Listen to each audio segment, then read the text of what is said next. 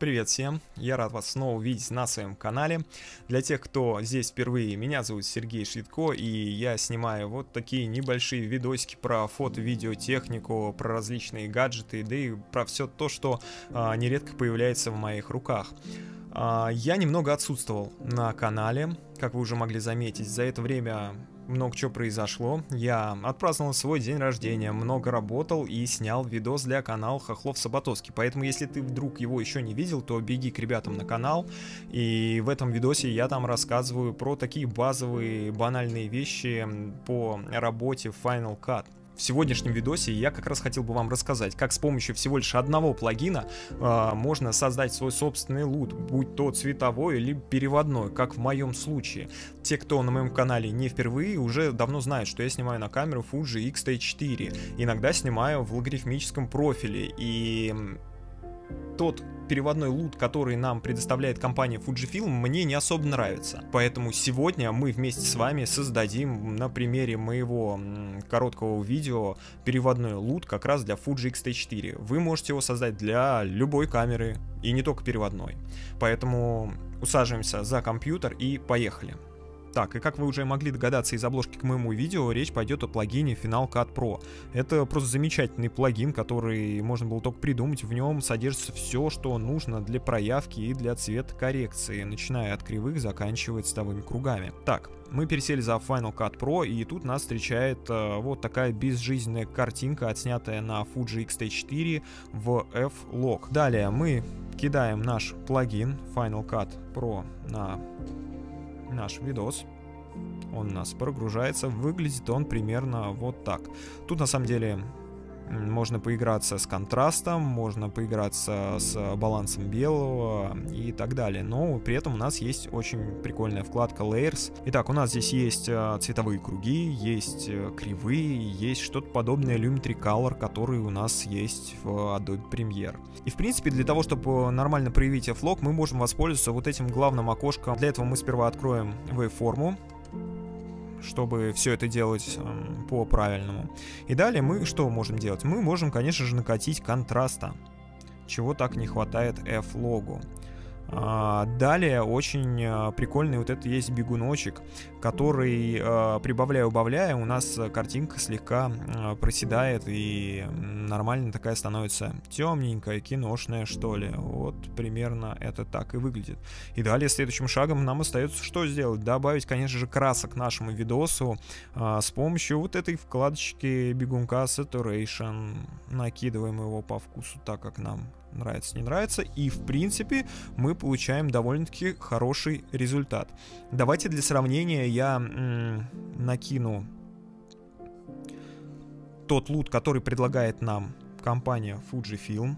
А, открываем Custom LUT и закидываем лут от компании Fujifilm. А, давайте выберем вот этот. И вот так вот розовенько смотрится моя кожа. И вот непосредственно это мне не особо-то нравится в лутах от Fujifilm.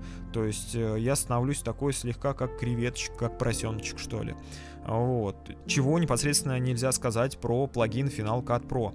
При этом давайте теперь посмотрим э, на скинтон, э, который дает нам вот такая быстрая проявка Final Cut Pro и со стандартным э, лутом, который дает нам Fujifilm. И, о чудо, да, мы видим то, что с нашей непосредственно проявкой скинтон у нас попадает просто стопроцентное значение. А теперь вырубаем его и врубаем лут, который предлагает нам Fujifilm.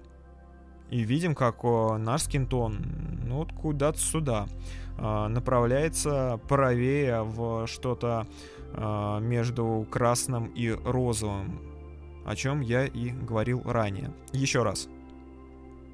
Наша проявка и проявка переводным лутом Fujifilm.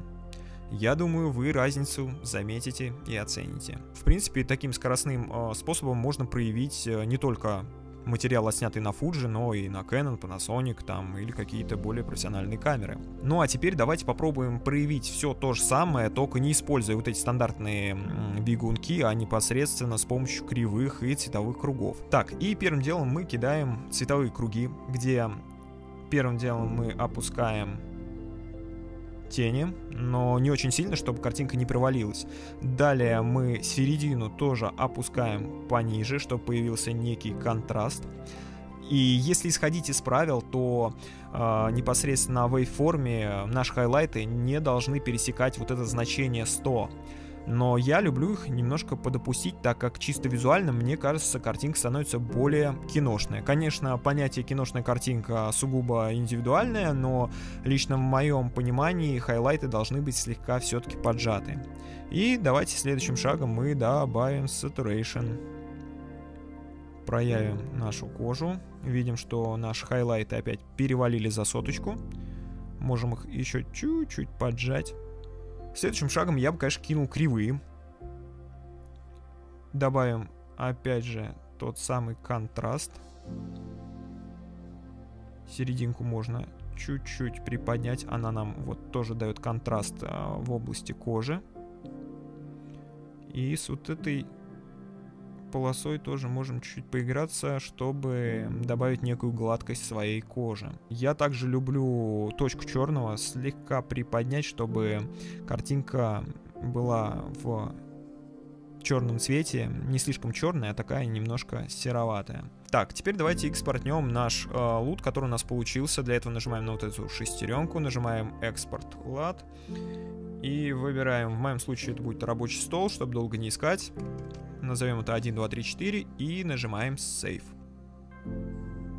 XT4 папочка. И вот тот самый лут 1, 2, 3, 4. Смотрим, есть ли разница. Разницы нету.